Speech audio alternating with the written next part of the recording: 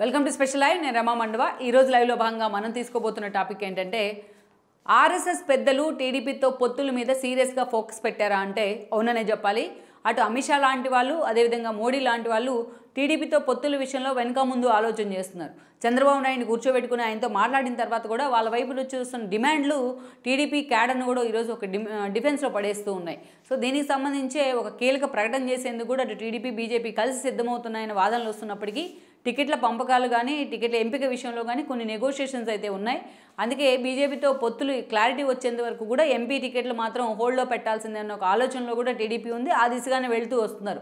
అటు పవన్ కళ్యాణ్ కానీ ఇటు చంద్రబాబు నాయుడు కానీ అయితే ఈ విషయంలో మాత్రం ఒకవేళ ఈ నెగోషియేషన్కి ఏదన్నా పూర్తి స్థాయిలో క్లారిటీ రాకుండా పొత్తులు డిఫర్ అయినట్లయితే అయినట్లయితే ఈరోజు అటు అమిత్ షా కానీ మోడీ కానీ వెనక్కి తగ్గే అవకాశాలు అయితే స్పష్టంగా ఉన్నాయి. కానీ ఇదే సమయంలో ఈ అవకాశం రానివ్వకుండా ఈ ఛాన్స్ రానివ్వకుండా ఈ రోజున ఆర్ఎస్ఎస్ పెద్దలు పూర్తి స్థాయిలో అటు మోడీ మీద ఇటు అమిత్ షా మీద చాలా ప్రెజర్ తీసుకొచ్చే ప్రయత్నం చేస్తున్నారన్న వాదనలు ఉన్నాయి. అయితే ఆ దిశగా ఆ ఆర్ఎస్ఎస్ పెద్దల ఇనిషియేషన్తోనే ఈరోజు అమిత్ షా లాంటి వాళ్ళు చంద్రబాబు నాయుడుతో పొత్తులు దిశగా అడుగులు వేస్తున్నారన్న వాదనలు కూడా ఉన్నాయి. అయితే ఈ ప్రచారంలో వాస్తవం ఎంత అనేది మనం తెలుసుకోవాలంటే గతంలో జరిగిన కొన్ని పరిణామాలను ఇక్కడ హైలైట్ చేసుకోవాలి. గతంలో మనం చూసినట్లయితే నేషనల్ ఫ్రంట్ మొదలుకొని ఏదైతే ఫెడరల్ ఫ్రంట్ వరకు అనేక సార్లు జాతీయ రాజకీయాల్లో అటు ఎన్టీఆర్ హయాం నుంచి చంద్రబాబు దాకా కీలక పాత్ర పోషిస్తూ వచ్చారు. తాము ప్రధానులుగా లేకపోయినా ప్రధానమంత్రులు సెలెక్ట్ చేయడం మొదలుకొని అనేక అంశాల్లో వాళ్ళు హీరోలు అయితే ప్లే చేయగలిగారు. ఇక వాజ్పేయి హయాంలో అయితే అప్పుడు చంద్రబాబు నాయుడు ఇక్కడ సీఎంగా ఉమ్మడి రాష్ట్రానికి సీఎంగా ఉన్న తీరు కానీ ఆ స్థాయిలో వాజ్పేయితోని సత్సంబంధాలు కొనసాగిస్తూ వచ్చారు. ఇక చంద్రబాబు మీద కూడా అదే గ్రాటిట్యూడ్ చూపిస్తూ వచ్చింది ఆ రోజు వాజ్పేయి ప్రభుత్వం కూడా. అదే సమయంలో చూసినట్లయితే వాజ్పేయికి సమకాలీకులైన అటు అద్వానీ కానీ అటు అప్పటి నేతలైన ఉమాభారతి కానీ కళ్యాణ్ సింగ్ ఫెర్నాండెస్ లాంటి నేతలు కానీ వీళ్ళంతా కూడా జోషి లాంటి వాళ్ళు. వీళ్ళందరితో కూడా చంద్రబాబు నాయుడికి సత్సంబంధాలే ఉంటూ వచ్చాయి. ఇక అదే సమయంలో అటు ఆర్ఎస్ఎస్ నేతలతో కూడా మోహన్ భగవత్ మొదలుకొని అనేక మంది ఆర్ఎస్ఎస్ పెద్దలతో కూడా చంద్రబాబు నాయుడు చాలా రోజుల పాటు సత్సంబంధాలే కొనసాగిస్తూ వచ్చారు. ఒక్క మాటలో చెప్పాలంటే బీజేపీలో కూడా కొన్ని ఇష్యూలో కింగ్ మేకర్గానే చంద్రబాబు నాయుడు అప్పట్లో వ్యవహరించారన్న కొన్ని వాదనలు అయితే ఉన్నాయి. సో అప్పటి నుంచి కూడా ఇక ఆ స్థాయిలో ఒక స్ట్రాంగ్ బాండింగ్ అయితే ఉండేది ఆ హయాంలో ఆ హయాంలోని బీజేపీ పెద్దలతోని ఆర్ఎస్ఎస్ ప్రముఖులతోని చంద్రబాబు నాయుడుకి. ఇక పర్టికులర్లీ రెండు వేల పద్నాలుగు ఎన్నికల కంటే ముందు గుజరాత్ సీఎంగా ఉన్న మోడీని తీసుకొచ్చి ఆ రోజున బీజేపీ పిఎం అభ్యర్థిగా అనౌన్స్ చేసే ప్రయత్నం చేసింది. అయితే అప్పుడున్న సిచ్యువేషన్లో ఎన్డీఏని బలోపేతం చేయాల్సిన బాధ్యత కూడా మోడీ మీద పడింది. ఈ క్రమంలోనే తమకు పాత మిత్రులైన కొంతమంది మీద మోడీ ఫోకస్ పెట్టారు. దానిలో భాగంగానే ఆ రోజు బాలకృష్ణతో మోడీ భేటీ అవడం టీడీపీని ఎన్డీఏలో చేరే విధంగా ఒప్పించడం జరిగింది. దాని చంద్రబాబు నాయుడు కూడా అప్పుడు రాష్ట్రం విభజిత ఆంధ్రప్రదేశ్గా మిగిలిన ఆంధ్రప్రదేశ్ మిగతా రాష్ట్రాలతో పాటు కంపేట్ కావాలి అంటే కేంద్రంలో అధికారంలోకి రాబోతున్న ఒక పార్టీతో పొత్తుండాలని భావించారు. అటు కాంగ్రెస్ ఎలాగూ టీడీపీ వ్యతిరేక పునాదుల మీద పుట్టిన పార్టీని. అందుకే ఆ రోజు ఆయన దట్టు పదేళ్ళు అధికారంలో ఉన్న కాంగ్రెస్ మీద ఆ రోజు వ్యతిరేకత పూర్తి స్థాయిలో ఉంది. ఇక రాష్ట్ర విభజన అంశం ఏపీలో కాంగ్రెస్ని డీమోరలైజ్ చేసింది. ఇలాంటి సిచ్యువేషన్లో చంద్రబాబు నాయుడు ఆ రోజు ఎన్డీఏలోని అఫిషియల్గా చేరున్నారు. ఎన్నికల ప్రచారంలో మోడీ చంద్రబాబు నాయుడు ఒకే వేదికను పంచుకున్నారు. ఈ వీళ్ళకి పవన్ కళ్యాణ్ లాంటి వాళ్ళు కూడా వచ్చి జత కావడం జరిగింది. ఎన్నికల తర్వాత ప్రధాని మోడీ అయి ఉన్నారు బీజేపీ అధికారంలోకి వచ్చింది టీడీపీ రాష్ట్రంలో అధికారంలోకి వచ్చి చంద్రబాబు నాయుడు సీఎం కావడం జరిగింది.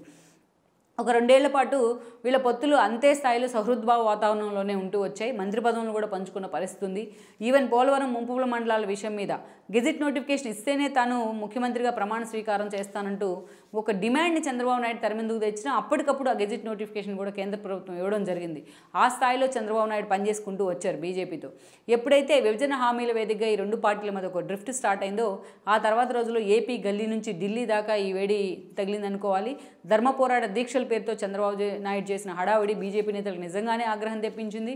ఇక ప్రత్యేక ప్యాకేజీకి చట్టబద్ధత కల్పించాలంటూ చేసిన డిమాండ్స్ కానీ రైల్వే జోన్ పోలవరం లాంటి ఇష్యూలు కానీ బీజేపీకి టీడీపీకి దూరం పెరుగుతూ వచ్చాయి. ఈ గ్యాప్లోని ఈ గ్యాప్ని ఫుల్ఫిల్ చేయడంలో వైఎస్ఆర్సీపీ సక్సెస్ అయిందని అనుకోవాలి. ఇక ఎన్నికల ప్రచారం నాటికి ఒకరిపై ఒకరు వ్యక్తిగత విమర్శలు కూడా చేసుకుంటున్న సిచ్యువేషన్ అయితే ఉంది. ఎన్డీఏ నుంచి అఫిషియల్గా టీడీపీ బయటకు వచ్చిన పరిస్థితి మంత్రులు కూడా రాజీనామాలు చేసుకున్న పరిస్థితి. ఇక ఆ సిచ్యువేషన్లో ఆ ఎన్నికల్లో అటు మోడీ ఇటు కేసీఆర్ కలిసి జగన్మోహన్ రెడ్డికి హెల్ప్ చేశారు. రిటర్న్ గిఫ్ట్ పేరుతో కేసీఆర్ హడావిడి చేశారనేది ఇప్పటివరకు ఉన్న విమర్శ. జగన్మోహన్ రెడ్డి అధికారంలోకి రావడంలో అటు బీజేపీతో పాటు ఇటు కేసీఆర్ పాత్ర ఉందన్నదేది ఇప్పటివరకు నడుస్తున్న చర్చ. అందులో వాస్తవం కూడా ఉంది. ఇక గత ఎన్నికల్లో ఇరవై మూడు సీట్లకే పరిమితమైన తర్వాత చంద్రబాబు నాయుడు చాలా సైలెంట్గా ఉండిపోయారు. బీజేపీని ఎక్కడ టార్గెట్ చేసే విషయంలో ఆయన కూల్గానే వ్యవహరిస్తూ వచ్చారు. రాష్ట్ర ప్రయోజనాలే తనకు ముఖ్యమంటూ కూడా జగన్మోహన్ రెడ్డి ఇష్యూస్ మీద ఆయన ఫోకస్ పెడుతూ వచ్చారు. అలాంటి సిచ్యువేషన్లో బీజేపీ డే వన్ నుంచి కూడా పూర్తిస్థాయిలో ఎన్డీఏ గతానికంటే భిన్నంగా ఎన్డీఏ తన ప్రభావాన్ని కోల్పోతున్న తీరు కావచ్చు. గతంలో గతంలో తమకున్న టీడీపీ లాంటి ఒక సాలిడ్ మిత్రపక్షం ఈరోజు తమతో లేకపోవడం వల్ల కావచ్చు. ఇండియా కూటమి పేరుతో అటు కాంగ్రెస్ మిగతా పక్షాలన్నింటినీ కలుపుకొని తమతో కలిసి వచ్చే పక్షాలను హడావుడి చేస్తున్న వైనం కావచ్చు. వీటన్నిటితో నిజంగా పాత మిత్రులను మళ్ళా తిరిగి కలుపుకునే ప్రయత్నం చేసింది. దేశవ్యాప్తంగా ఈరోజు ఉన్న ఎన్డీఏకి ఉన్న ఒక ప్రాభవం చూసినట్టు గతానికంటే గతంతో అదేవిధంగా మోడీ హయాంను కూడా అందరూ పోల్చి చూస్తున్న పరిస్థితి. ఈరోజు నితీష్ మొన్నటి వరకు తేజస్వితో ఉన్నారు. ఈరోజు రీసెంట్గా బీజేపీ మద్దతుతో మళ్ళీ సీఎం అయిన పరిస్థితి. నితీష్ ఏ సమయంలో ఏ స్టెప్ తీసుకుంటారో తెలియని సిచ్యువేషన్ ఉంది. మమతా లాంటి వాళ్ళు అటు ఇండియా కూటమికి బీజేపీకి సమాన దూరం అంటూ ఆమె సోలోగా ఆమె వెళ్ళే ప్రయత్నం చేస్తున్నారు.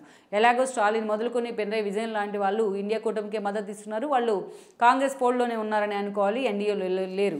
హేమంత్ సోరెన్ వాళ్ళ లాంటి వాళ్ళు ఈడీ కేసులతో బీజేపీకి దూరం అవుతున్న పరిస్థితి ఉంది ఇక ప్రతి చోట కూడా ఇలాంటి సిచ్యువేషన్ ఎదురవుతోంది. అందుకే అటు తమిళనాడు రూపంలో ఒక ప్రయోగం చేసినప్పటికీ కూడా అన్నాడీఎంకే రూపంలో ఈరోజు అన్నాడీఎంకే బీజేపీ నుంచి బయటకు వస్తున్న సిచ్యువేషన్ ఉంది.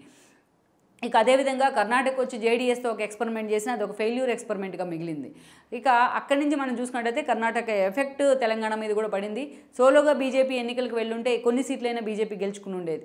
ఈ రోజున కేసీఆర్ బిడ్డ కోసం ఆయన బీజేపీతో టైఅప్ కావడం బీజేపీ కేసీఆర్ నమ్మి రంగంలోకి దిగడం కాంగ్రెస్ తనకు అనుకూలంగా ఉపయోగించుకుంది. సో తెలంగాణను కూడా తెలంగాణ రాష్ట్రాన్ని కూడా బీజేపీ కోల్పోయిన పరిస్థితి ఉంది అందుకే ఈరోజు ఏపీ మీద చాలా సీరియస్గా ఫోకస్ పెట్టింది బీజేపీ. ఎన్డీఏని బలోపేతం చేసుకోవడంతో పాటు సౌత్లో మనకి చాలా సాలిడ్ రిప్రజెంటేషన్ ఉండాలని కూడా బీజేపీ నేతలు భావిస్తూ ఉన్నారు. అందుకే ఏపీని తమకి ఒక వేదికగా ఎంపిక చేసుకున్నారు. గతంలో జగన్మోహన్ రెడ్డిని వాళ్ళు ఇప్పటిదాకా ప్యాంపర్ చేస్తూ వచ్చారన్న విమర్శలు ఉన్నప్పటికీ కేవలం జగన్మోహన్ రెడ్డికి ఉన్న ఎంపీ సీట్లు ఉభయ సభల్లో ఉన్న ఎంపీ సీట్ల కోసమే పలు ఇష్యూల్లో ఆయనకు మద్దతు ఇచ్చారన్న వాదనలు కూడా ఉన్నాయి. ఆయన కేసుల విషయంలో కూడా అందుకే బీజేపీ నేతలు మెన్నుకుండిపోయారన్న వాదనలు కూడా ఉన్నాయి. అందులో వాస్తవం కూడా ఉంది. కేసులే కాదు రాష్ట్రంలోని ఆర్థిక పరిస్థితులు మొదలుకొని అవినాష్ రెడ్డి అరెస్ట్ వరకు చాలా విషయాల్లో బీజేపీ నిజంగానే జగన్మోహన్ రెడ్డిని ప్యాంపర్ చేస్తూ వచ్చిందన్నది కూడా వాస్తవం. అలాంటి సిచ్యువేషన్లో ఈరోజు రాష్ట్ర వ్యాప్తంగా ఉన్న సర్వేలన్నీ కూడా బీజేపీ జనసేన కూటమి కలయిక విజయదుందు మోగిస్తుందనే సర్వేలు వస్తున్నాయి. జగన్మోహన్ రెడ్డి చేయించుకున్న సర్వేలు మొదలు అమిత్ షా లాంటి వాళ్ళు చేయించుకున్న ఇంటెలిజెన్స్ సర్వేలు కూడా అదే స్పష్టం చేస్తూ వస్తున్నాయి. అందుకే ఈ రోజున అటు బీజేపీతోని ఎన్డీఏతోని తిరిగి తమను దగ్గర చేసుకునే ప్రయత్నం అయితే బీజేపీ చేస్తోంది చంద్రబాబు నాయుడిని.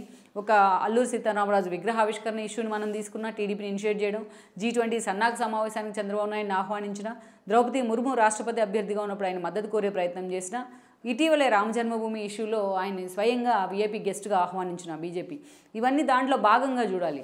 అయితే ఇప్పటిదాకా కూడా ఇప్పటికే అమిత్ షాతోని చంద్రబాబు నాయుడు జైలుకి వెళ్ళకముందు ఒకసారి భేటీ అయినారు. జైలుకి వెళ్ళొచ్చిన తర్వాత కూడా భేటీ అయ్యారు. పొద్దుల దిశగా ఈరోజు నాలుగు అడుగులు ముందుకే పడ్డాయని అనుకోవాలి.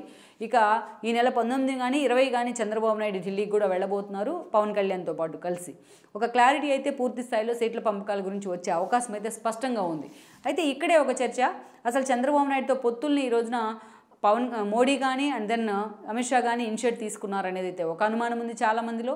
ఎందుకంటే గతంలో మనం చూసినట్లయితే కూడా చంద్రబాబు నాయుడు అరెస్ట్ విషయం మీద ఒక చిన్న కమెంట్ కూడా మోడీ కానీ అమిత్ షా లాంటి వాళ్ళు చేయని పరిస్థితుంది.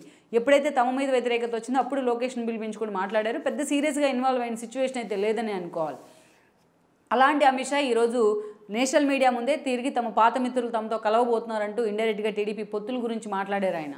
సో అలాంటి సిచ్యువేషన్లో ఈ స్థాయిలో మోడీ అండ్ అమిత్ షా చంద్రబాబు నాయుడు మీద ఫోకస్ పెడతానికి ఆర్ఎస్ఎస్ పెద్దలే కారణమనే చర్చ జరుగుతోంది.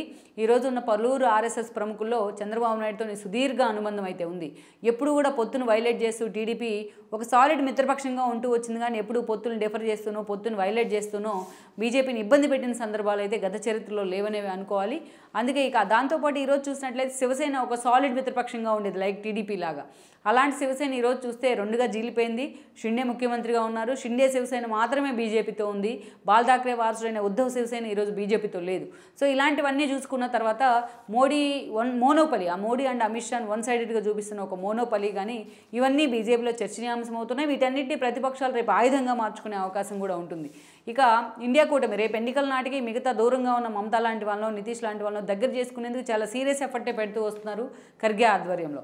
అందుకే ఈరోజు బీజేపీ సాలిడ్ మిత్రపక్షాలను తమతో ఉంచుకున్నట్లయితే ఇన్ ఫ్యూచర్ కూడా తమ హౌస్లో పెట్టే బిల్లులకు కానీ మిగతా అంశాల్లో కానీ తమకు వాళ్ళు వన్ సైడ్గా నిలబడే అవకాశం ఉందని అంచనా వేస్తూ వచ్చారు. ఇక ఆర్ఎస్ఎస్ పెద్దలు కూడా చంద్రబాబు నాయుడు విషయంలో అటు ఉద్ధవ్ ఠాక్రే కంటే చంద్రబాబు నాయుడు విషయంలో ఇదే స్థాయిలో బీజేపీ మీద ప్రెజర్ తీసుకొచ్చారంటున్నారు. ఇక ఏపీలో జగన్మోహన్ రెడ్డి పాలనకు సంబంధించి ఆయన తీసుకుంటున్న కొన్ని ఆర్ఎస్ఎస్ వ్యతి ఆర్ఎస్ఎస్ అనుకూలకు కూడా ఈరోజు ఆయన టార్గెట్ అవుతూ వస్తున్నారు కొన్ని అంశాల్లో. వీటన్నిటితో పాటు జగన్మోహన్ రెడ్డిని పూర్తి స్థాయిలో చెక్ పెట్టాలంటే చంద్రబాబు నాయుడిని దగ్గర తీయటమే ఒక ఒక ప్లాన్ అని కూడా బీజేపీ భావిస్తోంది. ఎందుకంటే ఇప్పటిదాకా జగన్మోహన్ రెడ్డి ప్యాంపర్ చేసిన కారణంగా ఆయన చేసిన ఇప్పటిదాకా చేసుకుంటూ వచ్చిన మైనస్లన్నీ కూడా వీళ్ళ ఖాతాలో పడుతున్న పరిస్థితి. వీటన్నిటికీ చెక్ పెట్టే విధంగా సౌత్లో పూర్తి స్థాయిలో ఒక నమ్మకమైన మిత్రపక్షాన్ని దగ్గర చేసుకోవాలంటే అది చంద్రబాబు నాయుడు వల్లే సాధ్యమవుతుంది అని కూడా ఆర్ఎస్ఎస్ పెద్దలు అమిత్ షాతో చెప్పినట్టు అమిత్ షా మోడీతో సీరియస్గా వాళ్ళు ప్రెజర్ తీసుకొచ్చిన తర్వాతే అటు అమిత్ షా కానీ మోడీ కానీ ఈ విషయంలో ఇనిషియేట్ చేసే ప్రయత్నం చేశారన్న చర్చ అయితే జరుగుతోంది. అందుకే ఈ రోజున అటు ఆర్ఎస్ఎస్ పెద్దలు పూర్తి స్థాయిలో వాళ్ళు చేయించుకున్న సర్వేలు కావచ్చు గత అనుభవాల దృష్ట్యా చంద్రబాబు నాయుడు వాళ్ళు దగ్గర తీసుకోవాలనే ఒక ప్రయత్నం కావచ్చు. అందుకే ఈరోజు అమిత్ షా లాంటి వాళ్ళు ఇనిషియేట్ తీసుకొని మరి చంద్రబాబు నాయుడిని స్వయంగా పిలిపించుకుంటున్న పరిస్థితి అయితే ఉందంటున్నారు. ఆ దిశగా లీక్లు అయితే వస్తున్నాయి. గతంలో తన తండ్రి అరెస్ట్ అయిన సమయంలో ఢిల్లీలో ఉన్న లోకేష్తో కూడా అటు ఆర్ఎస్ఎస్ పెద్దలు కొంతమంది కలిశారని కూడా అప్పట్లో వార్తలు వచ్చాయి. సో వాటన్నిటిని ఎండార్స్ చేసే విధంగా ఈరోజు బీజేపీ చంద్రబాబు నాయుడు అయితే వైపు అయితే అడుగులు వేస్తోంది. మరి ప్రస్తుతం ఏపీ ఉన్న పరిస్థితుల్లో బీజేపీతో పొత్తుల్ని ఆర్ఎస్ఎస్ పెద్దలు ఇనిషియేట్ చేశారా? లేకపోతే అమిత్ షా లాంటి వాళ్ళు స్వయంగా ఇనిషియేట్ చేశారని మనం పక్కన పెడితే ఈ పొత్తుల విషయంలో చంద్రబాబు నాయుడు ఎలాంటి స్టాండ్ తీసుకోబోతున్నారు. అటు జనాన్ని కానీ ఇటు పార్టీ క్యాడర్ని కానీ బీజేపీ విషయంలో ఎలా కన్విన్స్ చేయబోతున్నారనే అంశం మాత్రం ఈరోజు చాలా కీలకంగా మారబోతుంది అన్నది వాస్తవం. ఈ వీడియో మీకు నచ్చినట్లయితే please share like and subscribe R twenty Telugu.